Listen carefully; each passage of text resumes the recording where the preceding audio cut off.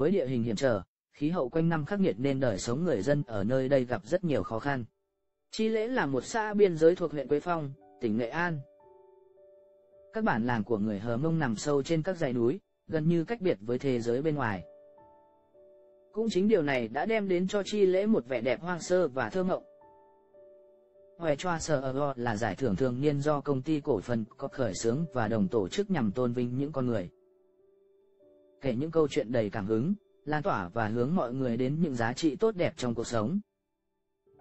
Nằm trong khuôn khổ của Hoài Chỏa Sơ Award, Huế Đồ là nơi quy tụ những dự án cộng đồng xã hội mang ý nghĩa thiết thực và giá trị nhân văn sâu sắc.